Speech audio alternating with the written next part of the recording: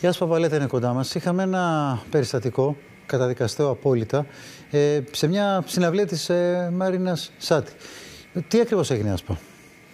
Νίκο, το γύρο του διαδικτύου κάνουν τις τελευταίες ώρες τα πλάνα από αυτή τη συναυλία της Μαρίνας Σάτι. Είναι από την Αλεξάνδρεια η Μαθίαση. Η συναυλία έγινε την Κυριακή και κάποιος από το κοινό ξεκίνησε να πετάει αντικείμενα επάνω στη σκηνή και αυγά.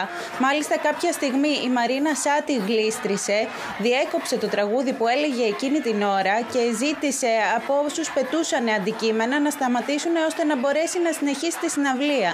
Ήταν επάνω στη σκηνή με δύο χορευτές, φορούσε και τα κούνια, οπότε αυτό έκανε το χορό ακόμη πιο δύσκολο με το η σκηνή να γλιστράει από τα αυγά. Όχι μόνο αυτό, βέβαια... αλλά είναι, είναι πραγματικά μπορεί κάποιος να ε, αγαπάει ή να μην αγαπάει έναν καλλιτέχνη.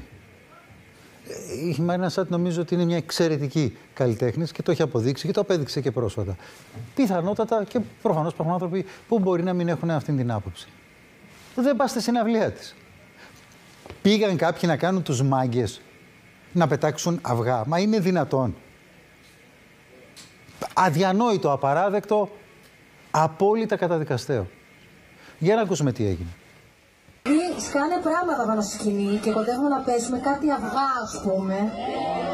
Θέλετε να μου πετάτε πράγματα στη σκηνή τέτοιου είδους. Ειδικά αυγά, ας πούμε, ομά.